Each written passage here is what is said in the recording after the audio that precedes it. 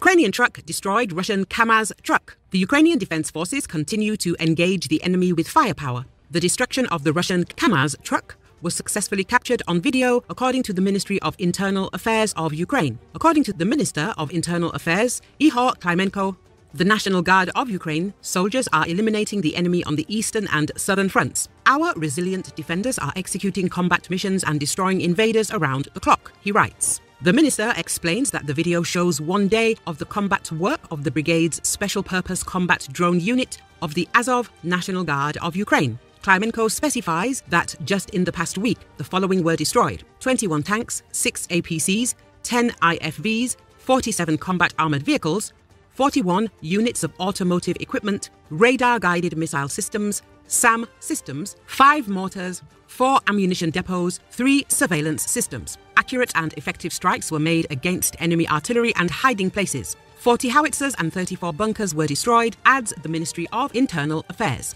It was also reported that Russian occupiers were increasingly refusing to participate in assault operations on the front. Colonel Alexander Shtupun, the spokesperson for the Joint Press Center of the Defense Forces in the Tavria direction, has reported that the losses of Russian occupiers on the Avdiivka front amount to about 300 to 400 soldiers daily. They are bringing in reserves.